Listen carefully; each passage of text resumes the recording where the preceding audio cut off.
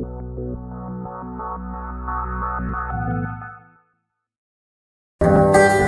you.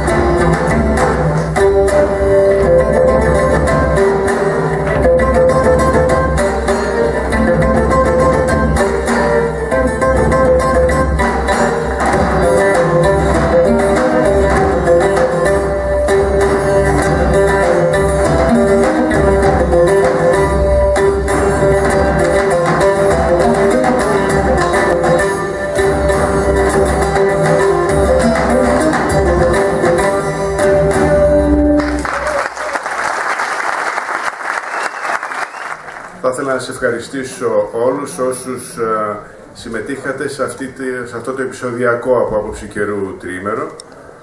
Ε, είναι γεγονός ότι ζήσαμε πολύ ωραίες στιγμές και θα ζήσουμε φυσικά και τις επόμενες. Ήδη θα παίξουν η Κάτζο Ντίλο και η κυρία Ευσταθίου με το τρίο της. Ε, η βοήθειά σας και η αγάπη σας μας δίνει την, το κουράγιο να προγραμματίσουμε και άλλα πράγματα που δεν θα είναι μόνο κάθε Μάη και ελπίζουμε να έχουμε τη συμπαράστασή σας. Σας περιμένουμε στις επόμενες εκδηλώσεις. Ευχαριστώ.